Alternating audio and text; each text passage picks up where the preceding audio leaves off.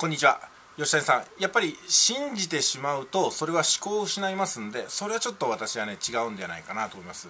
信じるというのと全く違う概念なんですけどもすごく似てるのが信頼してってやつですよね。これはですから信頼してオンラインサロンに入る。信頼して宗教に入る。信頼して友人関係を保つ。信頼して結婚する。みたいなことがあります。信頼ってのは信じるのと何が違うかというとまあ、一定の信じるという行為は入るんですけどももしかしたらそうじゃないかもしれない。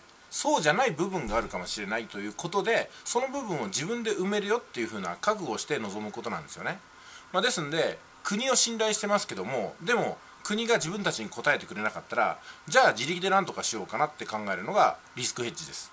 だからといって国に全く信頼をね失ってるわけではないですよね。このさじ加減なんじゃないかなと思います。で私はねだからね詐欺られたとかね。なんか騙されたとかってあるじゃないですか。オンラインサロンに騙されたとかね。それから宗教に騙されたとかね。結婚詐欺だとかね。いろいろありますけどもそれは誰が騙されたんですかって話なんですよね。もっと言ったら本当に悪意を持ってマトリックスアフィリエイトみたいにあの騙してるんだったらまだしも自分の単なる見込み違いってこともあるんですよ。自分の思い込みとかあまりにも自分が期待しすぎてね。例えばこのオンラインサロンに入ったら次の日から稼げるんだみたいなもう言ってみればバカな思考で入っちゃうとなんか稼げないじゃんあれ1ヶ月経っても稼げないじゃん。3ヶ月経ったけど稼げないじゃんってことになるんですよね。でもなんで稼げないのかってことを分析してみると集客してない商品持ってない商品売ってないこの3つをやりましたかってことなんですよね。で仮にやったとしても売れるまでやりましたかってことなんですよ。単純ですよね。これは。コンビニ開きました。でもオープンしてません。どうやって売るんですかコンビニ開きました。従業員雇ってません。どうやって売れるんですか？コンビニ開きました。商品仕入れてません。セールスしてません。紹介してません。どうやって売れるんですかって話ですよね。それはどこに行っても同じです。あのコンビニだって勝手に物が売れてるわけじゃないんですよ。セブンイレブンいい気分って昔からね CM やってるから。だから売れてるんですよね。あセブンイレブンだって感じで今まで多くの消費者さんがセブンイレブンで商品を買った。自分自身も利用してる。その信頼から安定してここにはあの商品があるだろう。この商品がこのクオリティであるだろう。日付切れはないだろうという信頼で買いに行くんですよ。信じてるわけじゃないんですよ。信頼して買いに行った結果賞味期限が切れてるのもたまにありますよ。で騙されたって言いますかね。いやこれ賞味期限切れてるんで交換してくださいで終わりですよね。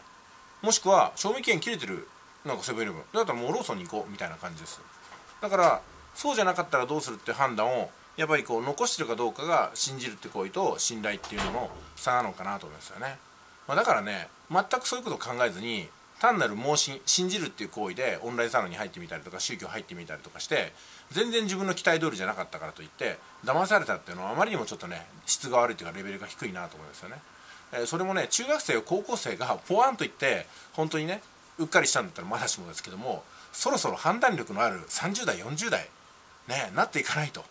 あ何ですかそれはって感じですよね。じゃあね健康であの、文化的な最低限の暮らしって言って生活保護ってあるじゃないですか。でも私から見るととてもじゃないけど不満の多い切り詰めた暮らししか生活保護を送れないと思うんですよ。国に騙されたとか言って生活保護突っ返しますかね、うん、だからやっぱり不満だけどもその制度使わせてもらうと思うんですよ、うん。まあ、そういうことじゃないかなと思うんですよね。オンラインサロンはまあ宗教みたいなもんですけども言ってみれば何もかも信じるって行為をすれば宗教みたいになっちゃいます。でもちゃんとロジカルにね信頼ってものとリスクエッジってものを使い分ければどんなものも使いこなしていけると思うんですよね、うん、まあそうやって人生を泳いでいくもんだと思います。だから結局なんで自分が目論見通りになってないのっていうところに自分の行動とか努力とか知恵とか工夫が入ってないっていうところがあるんじゃないかなと思うんですよ。100%誰かにやってもらおう。100%オンラインサロン任せ。100%神様任せ。それじゃあね誰も助けてくれないし、うん、何も起きないんじゃないかなと思いますよね、うん、基本的には自分でやるしかないってことですよね。残念ながら、うんまあ、あんまり好きじゃない言葉なんですけどもまさに自助。それしかないってことなんですよ。自助を突き詰めて99%の自助をやったけども最後の1%は制度という控除にまあ依存するというかね助けてもらうとか。あと日本人ってあることで信用してもらうとかね。そういうのがあるんじゃないかなと思うんですよ。はい、ということで最後にね日本人でいるってことが世界から見てものすごいねメリットだってことなんですよ。ありがたいことですよ。それを使って私たちは情報発信していけばいいんじゃないですかね。日本人は人を騙すような民族じゃないとかね。綺麗好きだとかね。礼儀正しいとか。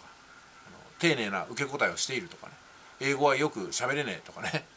そういうふうに私たちが思われてるとしたらそれを使ってやっていけばいいのかなと思います。まあ日本人というだけで世界的にものすごい信頼はあると思いますよ。ね。私たちがじゃあある国に行ってね深夜1人で歩きますか？って言ったらほとんどの国私たちは怖くて歩かないと思うんですよ。でもこの国日本だけは私たちは歩くと思うんですよね。それは他の国の人も一緒ですよ。日本以外はとても歩けるようなとこはないと思います。怖いと思います。それでは